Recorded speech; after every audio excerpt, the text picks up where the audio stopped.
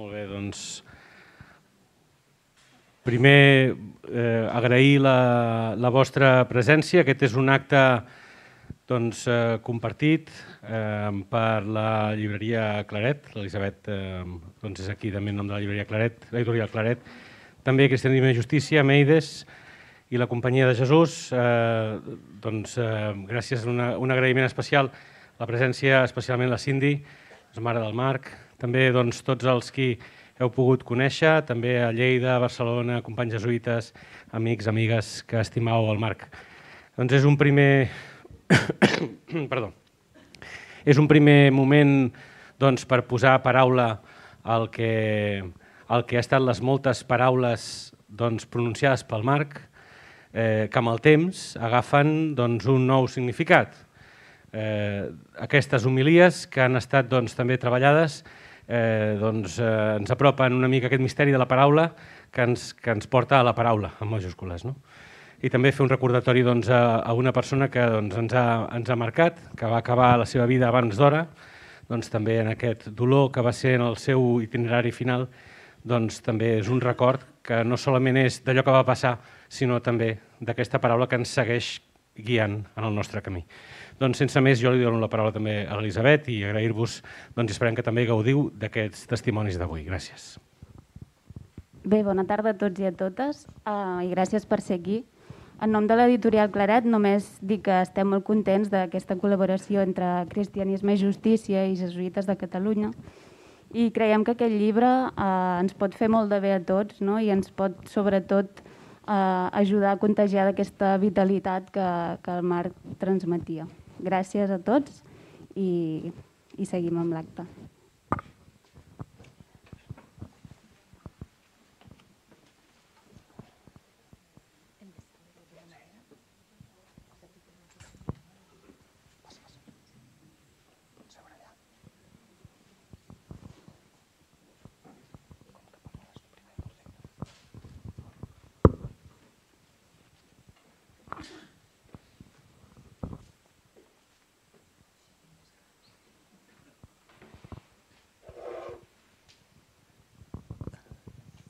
Doncs després, després d'aquestes paraules de benvinguda, eh, jo us presento el menú d'avui, un menú ben divers, eh, amb moltes veus, i no només eh, veus parlades, sinó també veus cantades, com veieu que ho tenim aquí preparat.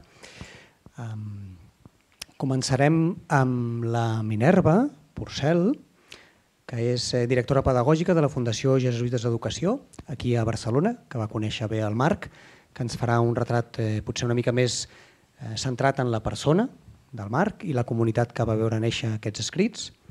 Després el Xavier Maloni, jesuïta, antropòleg i teòleg, que ens presentarà una mica unes claus de lectura d'aquest eh, volum i una oportunitat per convidar-nos a llegir el text i allò que ell també desitgi compartir-nos. Molt breument, abans de passar a la següent eh, taula, jo us faré una petita ressenya de per què aquest volum i com, està, com estan endreçats els textos, per si ajuda també doncs, a entendre una mica la tasca editorial que, que hem fet. I després, tot seguit, eh, dues persones més, que us les presento un cop els hi donem pas, que compartiran una mica més una mirada més personal, alguna anècdota potser també, doncs eh, sense més preàmbuls, eh, Minerva, tens la paraula. Gràcies. Gràcies, Pau. Uh, Nic, mm, sense que sigui de mala educació, però per respectar els tempos eh, i l'organització de l'acte aniré mirant el rellotge, perquè parlar del marc i des de la part més anecdòtica, això pot ser un perill, el fet de només tenir 8 minuts. I per situar una mica la meva intervenció, sobretot perquè estic en la, en la taula on es parlarà més del contingut del llibre i els meus coneixements sobre Bíblia són mínims, vaja, paupèrrims diria jo, i de teologia encara menys, el que faré és situar-me en... Us parlaré, diguéssim, des de l'amistat viscuda no? amb el Marc, des de, des de um, una amistat amb la que um, no et calles cap veritat, amb la que pots discutir oh, pels descosits, amb els que no hi ha vergonyes i a, a la que trobes molt a faltar. Eh? Doncs des d'aquesta autenticitat jo vull eh, compartir una miqueteta la, la veritat que veig reflectida en cadascuna d'aquestes planes del llibre. i llavors ser pues, no, com un humil testimoni de, de l'autenticitat del context des del que estan escrites. I per parlar d'aquest context on estan escrites moltes d'aquestes paraules, he de fer referència a les persones i al món que jo vaig compartir amb el Marc i després tampoc no puc obviar el, fer esment a la seva gran capacitat comunicativa.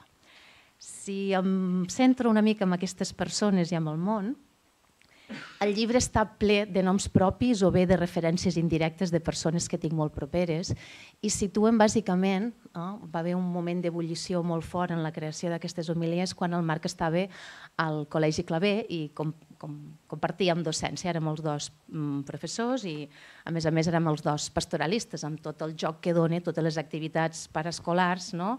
en la pastoral fora de l'horari, més eh, els viatges, les nits a fora, no? dona molt de sí per la convivència. Per tant, hi ha, hi ha moltes estones de parlar, moltes anècdotes.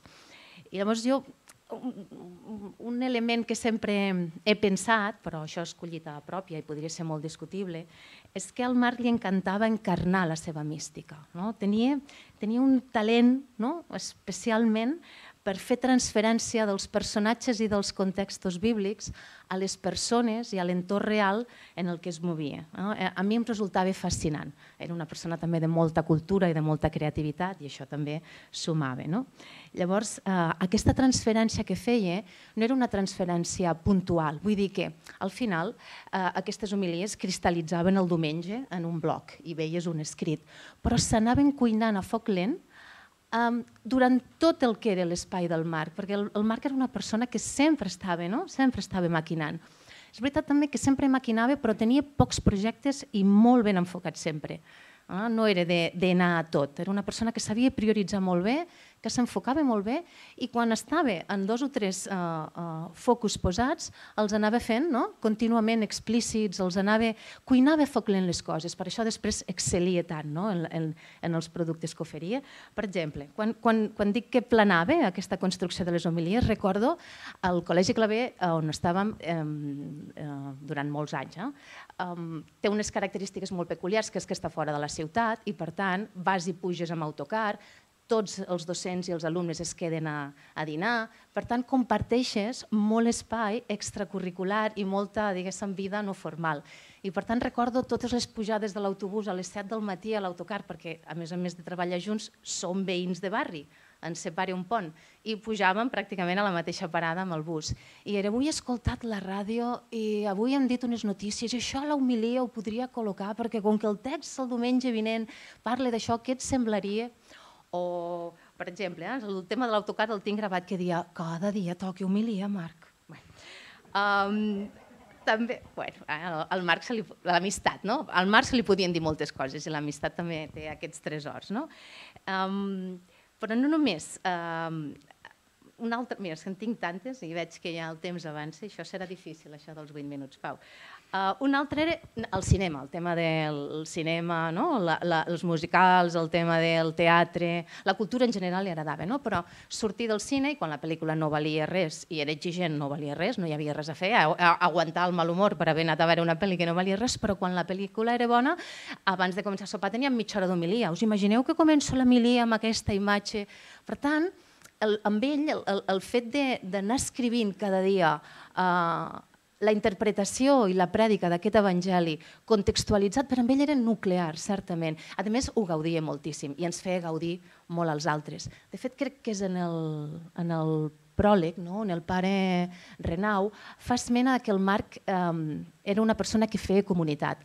Quan ho diu el pare Renau fa esmena quan anaven amb els Andreus al seu grup de revisió de vida i allà a, a la vora de la llar de foc, allí no?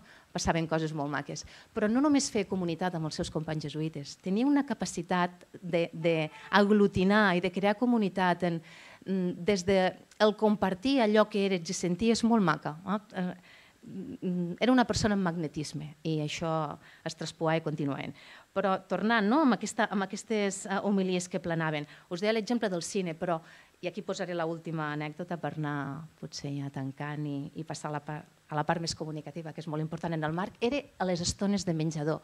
No sabeu la que el Marc podia liar en una taula de menjador, sent el centre d'atenció d'una conversa, era divertidíssim, és a dir, anar a la taula del Marc era una cosa bastant buscada a l'hora de dinar, perquè era un entreteniment segur i no era entreteniment gratuït, era, era entreteniment de qualitat. I li encantava posar damunt de la taula aquells articles que van començar a escriure el, el pare González Paus i la Pilar Rahola. Clar, imagineu-vos allò on podia arribar contínuament.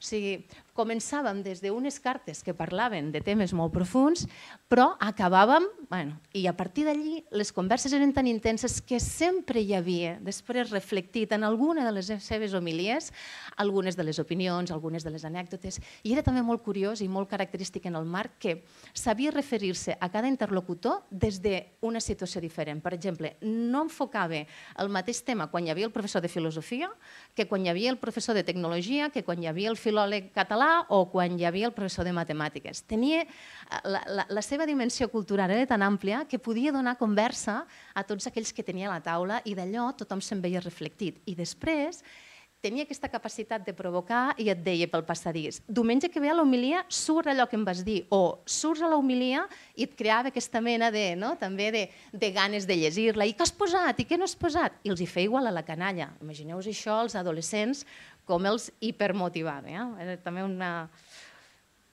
Sí, vaig tancant. És que no puc, eh? tindria d'aquestes anècdotes, aquesta manera de que les homilies formaven part del context més proper i de la situació eh, vital del Marc, eh, eh, és un fet. Però el, el, igual d'important que aquesta continuïtat no? de la paraula eh, viscuda, de la paraula escoltada, de la paraula pregada i de la paraula encarnada era la seva capacitat per comunicar. El Marc era no m'agrada gens en educació parlar de la paraula seducció, no, és un tema personal, però el Marc la utilitzava molt. Era una paraula que ben entesa, jo li diria doncs, una capacitat d'atreure, de, de captar, d'interpel·lar. Ell li agradava molt la paraula seduir perquè ell, ell se sentia seduït precisament per, per, per Déu, no? i el que volia és seduir els altres. Vers, eh, vers, doncs, bueno, L'Enric Puignerós al començar ens parlava no? de la paraula que es fa paraula, doncs això mateix. I no només era excels en les seves prèdiques, i tots els que hem conegut al Marc en aquelles formes correctes, polides, educades, endreçades, era un provocador. Era un provocador des de la cultura, des de les formes, i sabia no traspassar la ratlla, ah, perquè era una cosa que podia ofendre, sabia buscar molt bé els límits. I tots coneixem la seva gesticulació, la seva expressió de veu, les seves frases, els seus jocs de paraules, li encantava jugar amb les paraules. Era arquitecte, però que s'han pogut dir perfectament, no? que bueno, era un humanista, jo diria, no? Aquest, en aquests talents. Però no només vull destacar la prèdica, voldria destacar també, per exemple, a nivell d'anècdota, perquè el coneguem, no hi havia reunió de pares complicada que no t'enduguessis al marc, és que te la solventava, te la solventava des de la negociació, des de l'empatia, des de l'assertivitat. No hi havia conferència a l'entorn més cultural de Lleida que no rifessin aquesta, aquest magnetisme del marc eh, érem el professor més buscat eh, i, i no miraven les matèries a, a, a l'Institut de Ciències Religioses de Lleida, a l'IREL, no buscaven l'assignatura, buscaven quines classes feia el Marc. No? Li havia tocat moltes vegades fer classes d'evangelis, però la gent era igual, la que faci el Marc Viladasau, perquè més enllà del contingut, com comunicava era també no? presència del Marc. I per acabar, l'última anècdota que us diria de la seva gran capacitat de comunicació, us diria, per si he de triar una de les que me queda, és quan va escriure l'obra de Sant Francesc Xavier. Era un personatge per qual sentia uh, també ell una gran atracció. Crec que hi ha unes parts no, de Francesc Xavier, com de la primera part de la vida de Sant Ignasi, en el Marc es sentia molt identificat no, amb aquell cavaller eh, que buscava una conversió per salvar-se. Bueno, doncs, en, en la, va ser tot un procés i a més eh, titànica l'obra de Sant Francesc Xavier perquè va, va muntar el projecte ell sol, va buscar el finançament, va engrescar a tot el que era la comunitat, ens va convèncer a tots que en un entorn com Lleida allò podria funcionar i podríem omplir amb una obra sobre Francesc Xavier. Bueno, doncs, I el, i el, el guió eh, es, es va envoltar de gent que li poguessin donar algun feedback, però ell, ell portava el pes. No? Després també van a contractar una companyia de teatre i va agafar una de les millors de Lleida. Bueno, I en un ambient de teatre molt liberal, molt liberal. Doncs jo crec que no va acabar convertint els més ateus de Lleida de miracle, perquè si l'obra dura tres escenes més, la, la parròquia de Sant Ignasi és plena de tota l'aula de teatre de Lleida, perquè sense predicar, la seva manera de viure, de comunicar i d'interpretar el personatge, jo recordo com va impactar tot el grup d'actors i ja quan el Marc no, no ens acompanyava, jo recordo, i aquí tanco, Pau, eh, ja de veritat, una conversa a l'AVE, quan venia de Lleida a Barcelona, amb el director de teatre, que també és una persona també, eh, que està a cavall entre Barcelona i Lleida a nivell laboral, eh, molt reconegut, i em deia, encara recordo com ens impressionaven aquells assajos i com a mi m'ha arribat a canviar la vida, no? i com m'he arribat a, a plantejar eh, moltes coses gràcies a, a, a aquest magnetisme que aquest noi no et sabria descriure massa bé, però era capaç d'arribar arribar-te a la mèdula. I el mateix li passava amb les padrines, el mateix li passava amb els alumnes, el mateix ens, els passava amb els amics. Podria... Mm, Pau, això podria continuar. Ja no miro més l'iPad. Eh?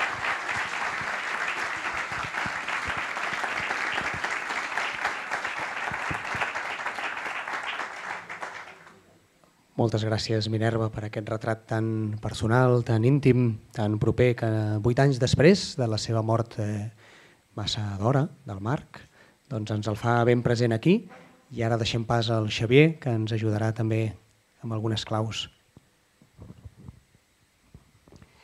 Moltíssimes gràcies. Eh, bueno, a veure, mm, em, em va impactar molt a mi llegir preparar el, a la pília, quan t'encomana una cosa sobre un llibre tens, et dona més exigència diguem no? per llegir-t'ho no? i va ser impactant. La veritat és que després de... Jo no havia freqüentat massa els blogs, no, no és el meu àmbit, eh, i llavors sabia de les seves homilies, tant orals com escrites, però, i m'havia arribat alguna, però no, no tenia un coneixement tan complet d'aquest excel·lent eh, recull de textos. No? I em vaig quedar molt impactat. Realment, eh, o sigui, a la pell em va sortir en dos dies, bum, perquè, i, i a més intentant eh, donar-li la paraula amb ell, o sigui, haig de dir jo, al costat del, del que deia ell, dient, no? o sigui, realment impactant. No? I, I aleshores, i ara mateix que tenim l'ocasió de celebrar aquest moment, no? eh, va morir massa jove? No ho sé. No ho sé quin és el temps de cadascú. Qui som nosaltres per dir quan ha de morir o néixer una persona, no? Què sabem nosaltres del temps de cadascú? Perquè al final la vida, eh, com, com sabem si hem viscut? Per la fecunditat de la nostra vida, no? I 45 anys viscut per ell, amb la fecunditat que ha tingut i continua tenint 8 anys després, massa d'hora. És el temps de cadascú, no? Què sabem? Què sabem? La, la cronologia no és un criteri de, de, de la vida. Eh? És, la cairologia, una altra cosa, que el temps oportú de cadascú, no? el temps oportú de viure i el temps oportú de marxar. No? Al contrari, al contrari si, si, si aquests textos avui tenen la força que tenen, és perquè, bueno, perquè estan confrontats amb, amb, amb la mort, el que anem, anomenem mort, que és el final d'un cicle, del seu cicle. No? I en els temps que té cadascú doncs dona el millor de si mateix i, i la prova és que aquestes llavors eh, sembrades en, les, en cada homilia durant anys i escrites després a la web tornen a posar-se en terra i fum, tenen una força increïble, estan vives. No? O sigui, mor, vida, si està absolutament viu. O sigui, ell està aquí, està en cada paraula, està en aquest, en aquest mateix moment entre nosaltres, diguem-ne. No? L'aspecte físic és un aspecte de l'ésser humà, eh, de, la nostra de la nostra essència, no, no és tot el que som, ni molt menys. No? Per tant, no, això, només això ja és un grandíssim aprenentatge que ell, eh, amb el qual ell ens confronta un, amb un grandíssim tema, que és el de la mort. Màrtir i confessor. Eh? És com està també presentat aquí. Màrtir i confessor eh, de la vida i de la mort, eh? perquè o sigui, mm, va ser testimoni d'una vida viscuda fins al final i d'una mort també patida fins al final, però patida i, i transformada en vida, i, i la prova és eh, doncs, el que a, vuit anys després podem recollir. No? Um, sorprèn molt la, el seu text escrit. Jo jo el, el Marc el vaig, soc una mica més gran de, de companyia i també de, en, el planeta, en el planeta Terra vaig arribar uns quants anys abans. No? I això en el col·legi fa molt, perquè és els petits i, va. i a la companyia a vegades, si no coincideixes en temps, eh, també fa. És a dir, no sóc de la seva colla, diguem-ne, no? de, directament. No? Però a mi han tingut converses i sempre impactants, com molt bé has dit, no? amb tota la, la, la, noblesa i, i, i compacta de la, de la seva persona. No? però els escrits tenen molts registres i és una cosa que, que és, o sigui, és un mag de la paraula, com has dit, un artista de la paraula, no? i una paraula molt complexa perquè té molts registres alhora. No? I aleshores eh, sorprèn la quantitat de temes que aborda i que tots surten i tornen a l'Evangeli. Eh? Això també crec que és molt notable del text. No? O sigui, està molt amarat de, de la paraula de Déu i perquè està amarat de paraula de Déu, està amarat de paraula humana, perquè la paraula de Déu és justament el Déu encarnat. No? Per tant, eh, o sigui, una de les coses que jo crec que, que, que és un llibre excel·lent, eh, per, tant per, com a lectura espiritual com, com a inspiració per, per, per coses que un hagi de preparar, és eh, la vida que dona a la, a, als evangelis. Textos coneguts i reconeguts per, per tots, diguem-ne, comentats per ell, eh, tenen una, una lluminositat que un queda que molt, molt frapat. No? Tant per les connexions que fa amb exemples eh, múltiples, a més d'un gran, d'un extens registre de, tot, de tota mena, com pel, pel, pel joc de paraules que fa, eh? per un, un, unes, unes, uns raonaments que, que sembla que porten cap a una banda i de sobte fa un gir i, i fa una voltareta i, i ara dona sortit això, no? I, i vull dir que, que et porta, no? el, el text eh, et porta fins on ell vol portar-te, perquè té clar on, on vol anar, com, com, com molt bé has dit. No? Mm, llegiríem moltes coses, però no, no, és, no és la meva feina, perquè la feina serà de cadascú de, de llegir-ne i, i de fer la seva pròpia collita no? d'aquesta excel·lent eh, recopilació. Eh, primera recopilació, tinc entès, perquè sembla que hi ha en projecte altres recopilacions, diguem no? Aquesta és l'externa, no? però l'externa, amb la qual ell es despulla, diguem, cada, cada, cada homilia és, està ahí a, a, a pecho descubierto, diguem-ne. No? O sigui, eh, parla de, de coses, eh, o sigui, parla de l'Evangeli, parla de la vida, sense deixar de parlar des d'ell en cada moment. No?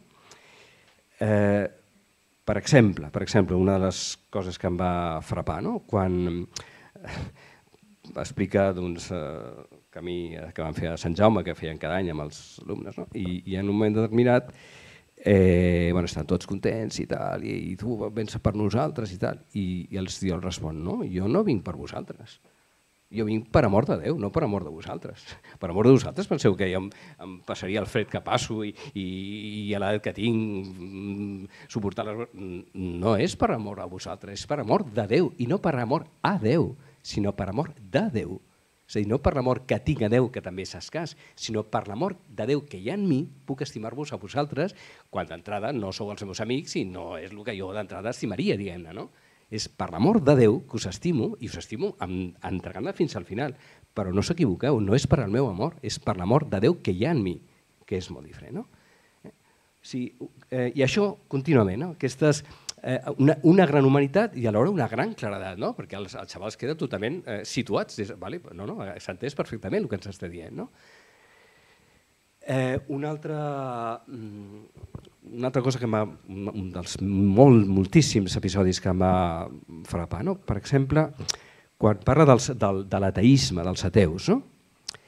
eh, diu una cosa, diu coses precioses, diu coses precioses, diu això um, el que més um, fa tristor d'un ateu és que mai pugui donar gràcies, que mai pugui demanar, que mai pugui tenir un tu al qual referir-se.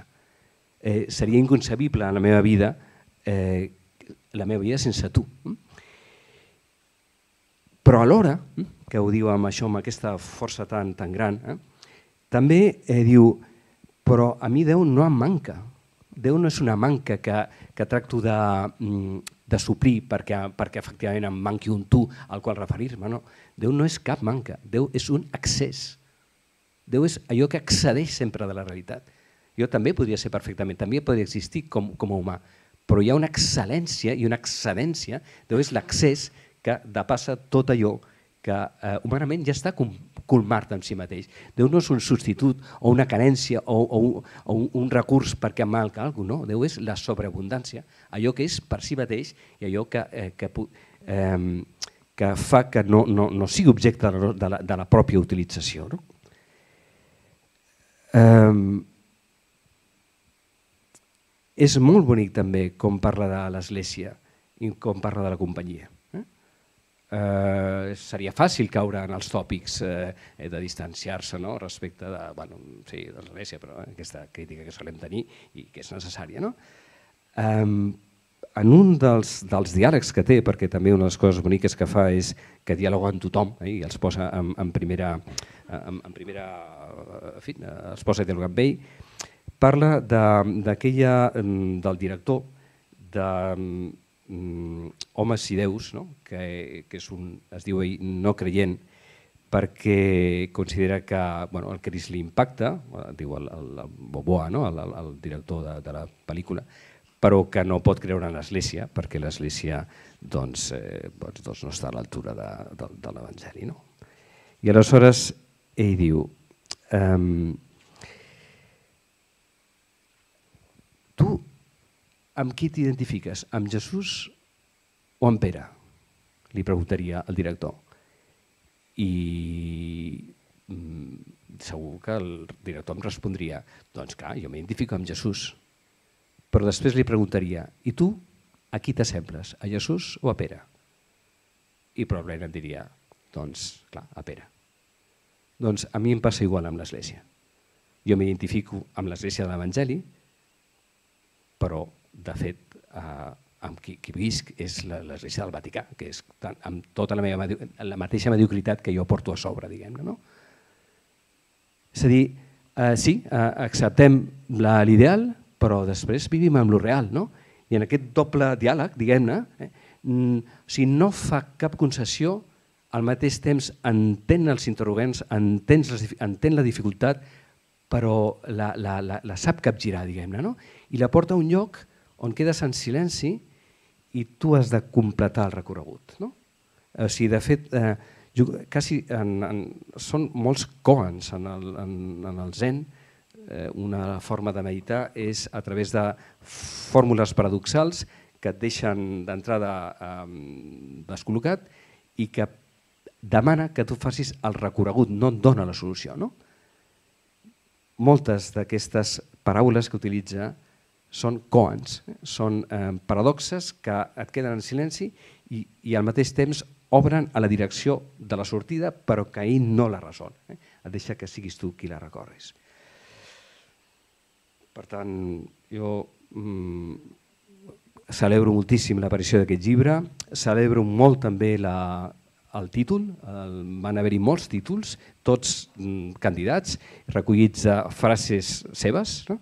I crec que aquesta última és preciosa, no? amor que crema eh, en tots els sentits d'aquest cremor, un, un, la, la, la, el foc de la purificació, el, el foc de la il·luminació, el foc que deixa cendre, el foc eh, doncs, amor que crema. Certament, eh, quan un llegeix això, sent com sabrosa, sabro, sabrosa el cor, eh, com li passava als deixebles quan, acompanyats per un foraster, sentien com el seu cor cremava.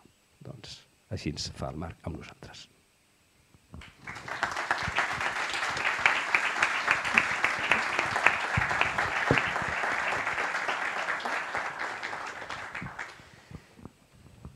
Moltes gràcies, eh, Xavier, company i amic.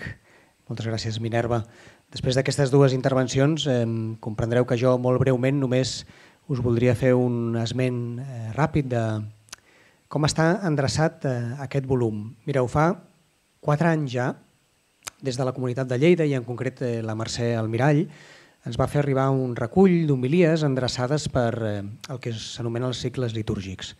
Llavors amb en Santi Torres i jo mateix, al llarg d'aquest temps, amb la interrupció de la pandèmia, ens va semblar que més que fer un recull de comentaris eh, de l'Evangeli, volíem ressaltar de cadascun d'aquests textos, seleccionar un tema i mirar de fer-ne una vintena de capítols. No? Doncs trobareu que hi ha capítols amb el títol de Déu, Maria, Pregària, Malaltia, Silenci...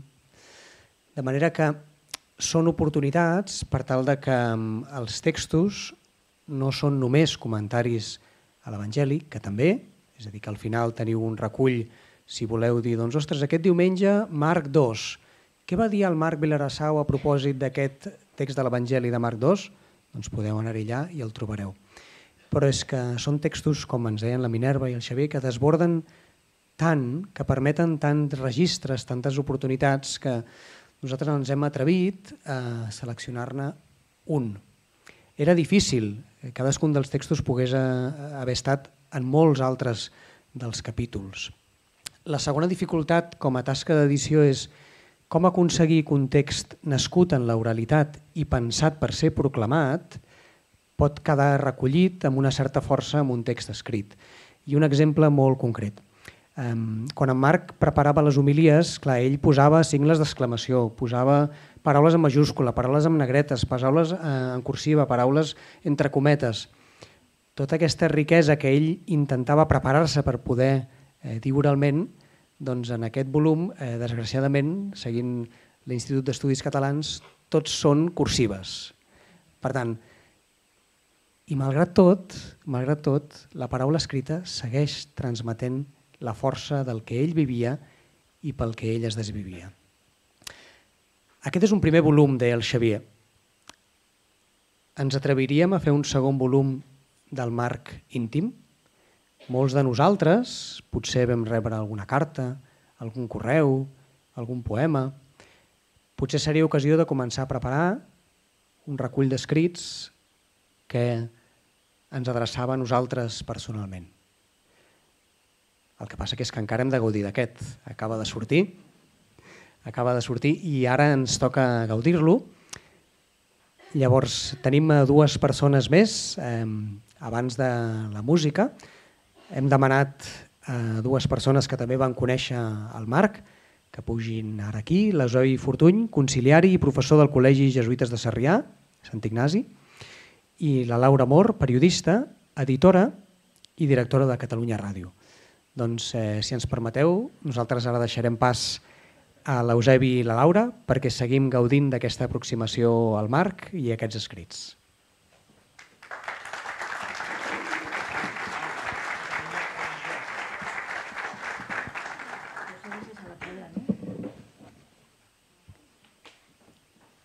M'han fet una correcció, sempre pot haver-hi errades. Laura Amor, directora de Catalunya Religió.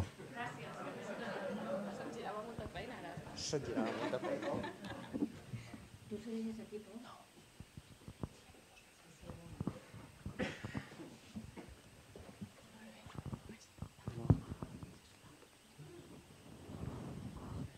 Bé, doncs bon vespre a tothom.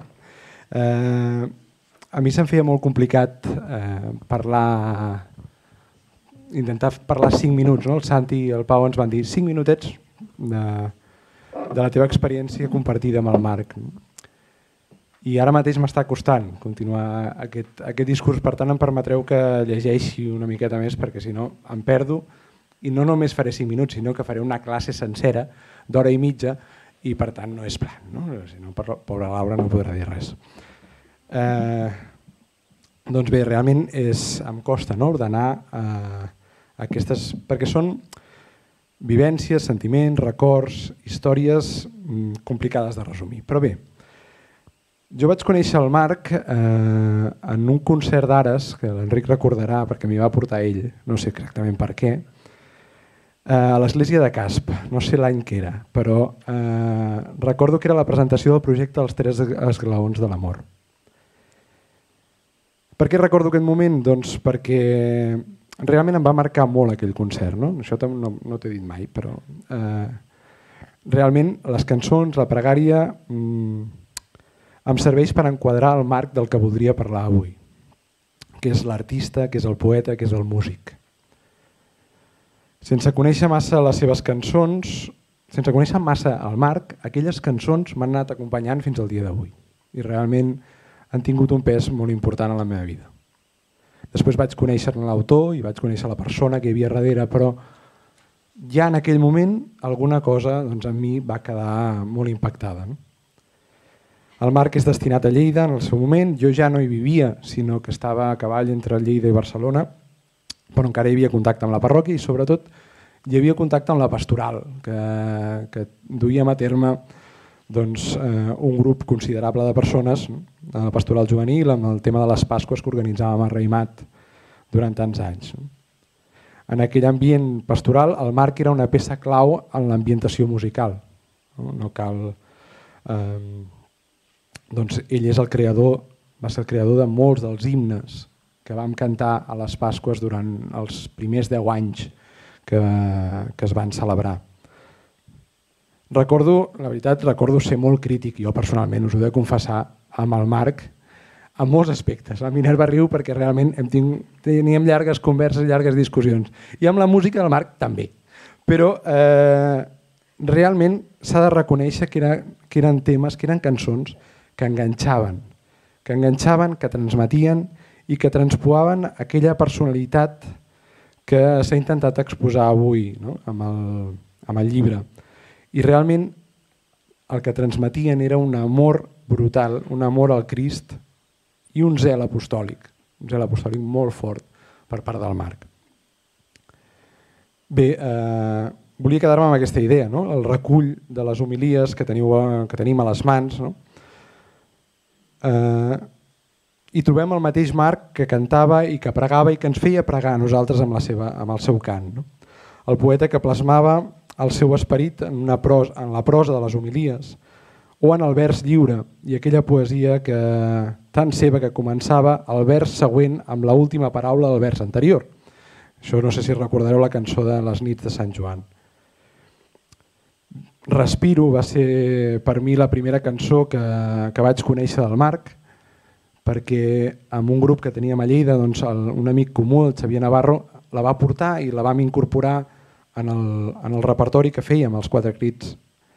I és una cançó que contínuament, encara l'utilitzo als recessos de, de, de l'escola. Amb la versió que vam gravar nosaltres, us imagineu la qualitat. No? Em venen a la memòria doncs, molts temes, no? la religió de mercat, amb tu hem vist la vida, mi barrio, el Desmarca't o el Cor del Món i aprofito ara per demanar perdó al Marc per la broma que vam fer versionant-la amb l'Albert i l'Esteban, aquella Pasqua mítica, eh, en què, bueno, diguem-ne que li vam donar una altra imatge. No?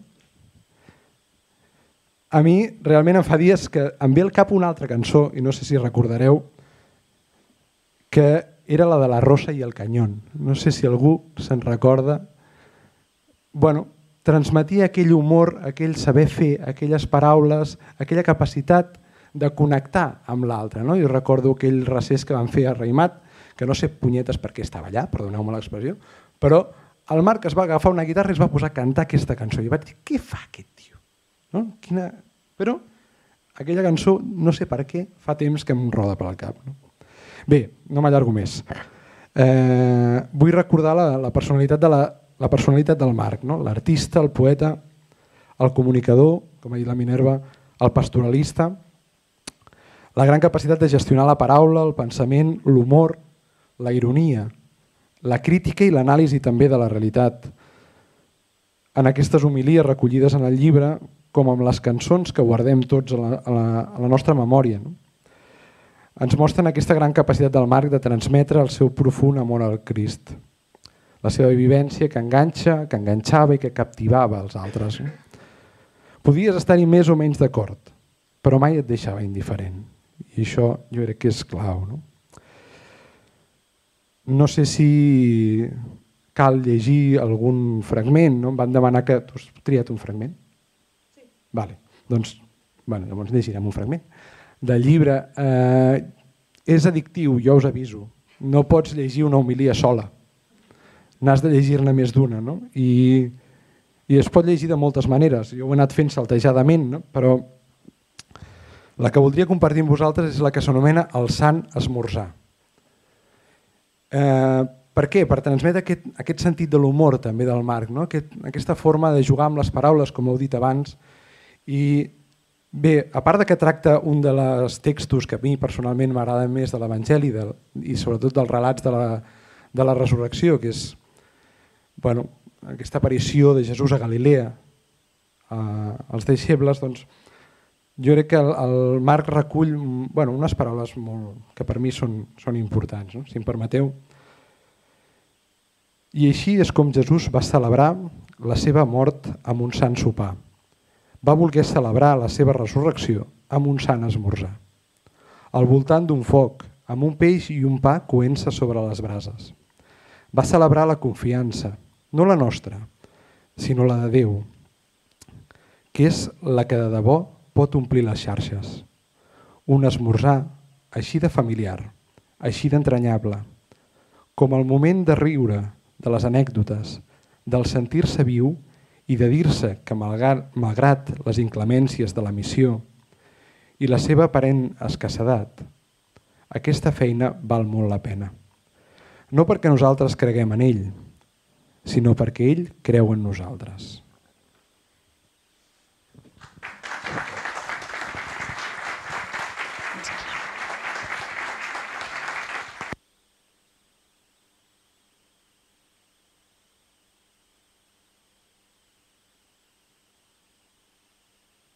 Ara ja estava encès i l'he pagat.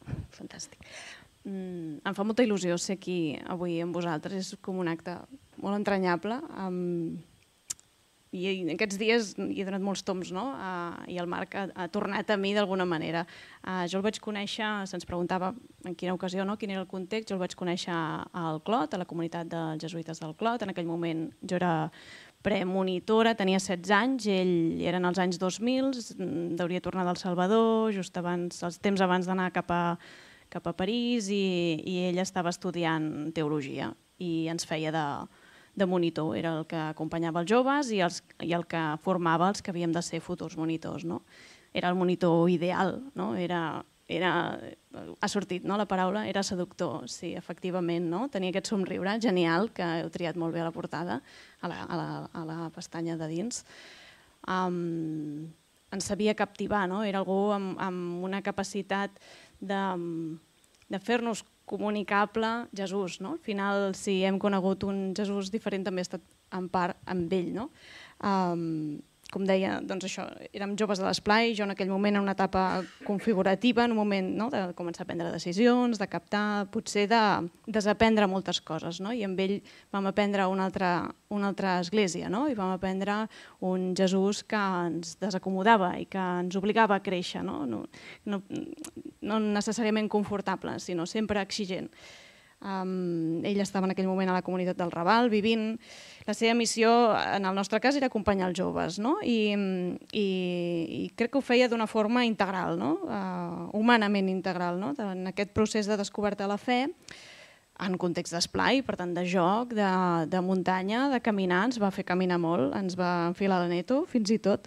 Recordo que no duia jo unes botes gaire adequades, en aquell moment no existia una multinacional a baix preu que ens proveís de material no, esportiu, i em portava unes deradades d'aquestes molt antigues i vaig agafar fred perquè vam trobar neu, i el Marc es va jupir, em va fer unes fregues, era, feia de tot, no? feia tots els papers de l'auca, i tant l'acudit com, com uh, l'avituallament, i de fons, sense fer distincions tampoc, penso dins del grup, que a vegades és molt fàcil no? anar a buscar els més simpàtics, ell tractava tothom no? I, i tenia una paraula per tothom. Um, quines coses d'ell m'han impactat? Uh, jo crec que aquest, aquesta capacitat de saber trobar les paraules encertades, no? um, que era molt destra en la manera d'apropar-se, com deia la gent, que tenia un gran sentit de l'humor, que somreia, que, que es preocupava per les petites coses, també.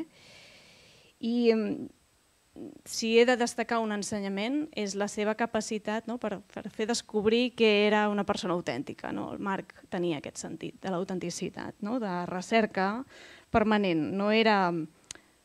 Jo penso, en ell no sé si havia arribat a Déu, no? però en tot cas l'estava buscant no? permanentment. No? Era... Després, hi, després hi tornarem, una d'aquestes cançons seves que, que a mi fa pensar molt. No? En el tema de la capacitat comunicativa ha sortit també, eh, jo crec que tenia un potencial enorme. Mm, el vaig conèixer, com us deia, en, en el context de l'esplai, al cap de molts anys, no? quan va ser el moment de la mort, jo acabava d'entrar com a redactora al portal i evidentment, si jo el coneixia, estava a la redacció, uh, l'obituari em va tocar escriure-la a mi. I recordo estar davant de l'ordinador amb llàgrimes als ulls, no? i pensant, tot el que hem perdut, tot el que hem perdut, no? Quin, tot aquest potencial, no? perquè coincideixo també, com deia en Xavier, eh, que tot això està aquí, no? és absolutament palpable, eh, la, seva, la seva llavor, tot el que ha produït i continuarà produint. Mm, però en aquell moment l'impacte era de, ostres, eh, quin talent i quina capacitat havia de desplegar o podia desplegar encara. No? Per dins eh, sentia, sentia aquesta, aquesta pena. Um, una anècdota, ara canvio de registre, però sí que el Marc feia cançons, però nosaltres també n'hi fèiem en ell. I una vegada a l'Esplai vam versionar el, el Don't Worry, Be Happy, i, i dèiem que, us imagineu la tonada, no la cantaré, però dèiem que el Marc era un bon partit, però que Jesús ja l'havia escollit. No? Don't worry, be happy. Uh, tota la colla de noies i joves i que veiem en el Marc un referent, doncs uh, uh, ens qüestionava moltes coses, no? Eh, ens va posar, jo crec que ens va, va saber posar-nos Jesús davant, no? I, i uh, ens obligava constantment a desacomodar-nos. Uh, si m'he de quedar ja amb alguna cosa més així final, penso també, jo que em dedico al periodisme religiós, no? uh, em ve molt sovint al cap la, la de Místicos, la cançó de Místicos, i de tots aquests malalts de sentit, no? que, que ho som segurament tots nosaltres, i, i la seva capacitat també de, de parlar als humils i als senzills. Vaig directament ja en el fragment perquè els cinc minuts passen molt ràpid. I em quedo... En Xavier me n'ha robat un, per tant aquest no el puc repetir, però em quedo amb el de l'Església, 96, apareixerà per aquí. Sí. Um, potser voldríem, deia el Marc, potser voldríem una església purament espiritual, sense tara ni contradiccions. Però Déu no. Déu la volguda de carn i ossos, feta d'homes i dones, encarnada en la història. Déu s'ha arriscat i ha pres forma en la carn d'un home com nosaltres. No ens ha tret del món ficant-nos en una mena de bombolla esterilitzada, sinó que ens ha salvat del pecat i ens ha enviat al món perquè li anunciem aquesta salvació. Ser cristià és embrutar-se de món, és estimar-lo fins que faci mal, tal com Déu mateix ha fet en Jesucrist, perquè només es pot salvar allò que s'ha estimat primer. Jo crec que en Marc ens ha, ens, ens ha ajudat i ens ha ensenyat a estimar, a estimar Jesús, no? I, i un Jesús que té molt a veure en aquesta església i en aquest eh, Déu fet home. I gràcies per, per l'estona, per poder-ho compartir.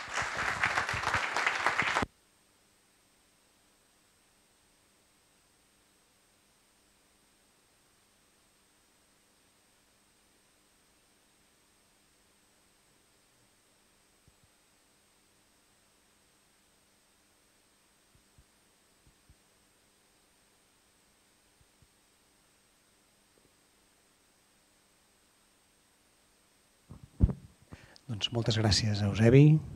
Moltes gràcies, Laura.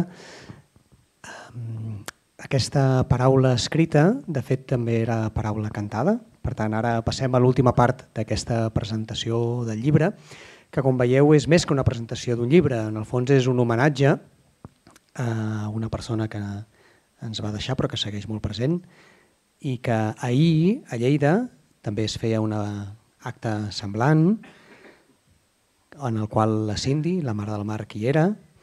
Avui, 16 de novembre, la Companyia de Jesús celebra també moltes coses. Celebra els màrtirs de la UCA del Salvador, però també celebra els màrtirs del Paraguai de fa bastant més temps. Per tant, quin llegat que rebem i quin llegat que se'ns confia per tal de viure avui. Doncs que gaudim aquestes cançons. Eh, gràcies a Eusebi, gràcies Laura i deixem pas a la Glòria Díaz, a la Júlia Díaz i a l'Enric Puiggròs, que ens cantaran dues peces composades pel Marc.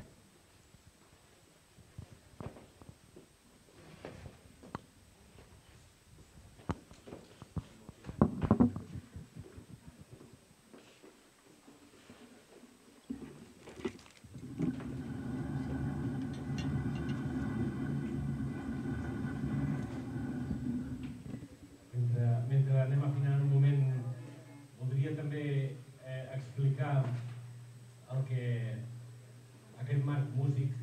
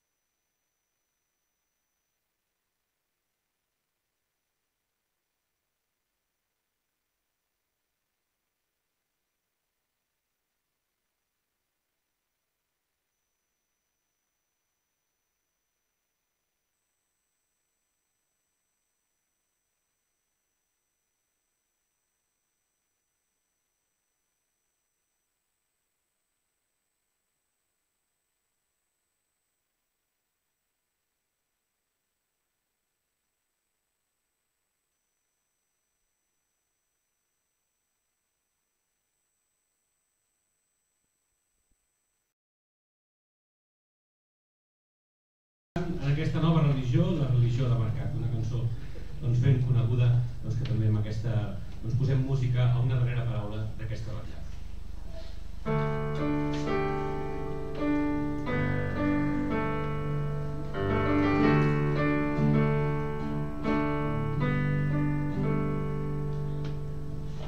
El poble Sant Peregrina els dissabtes a la tarda el Sant Déu Santuari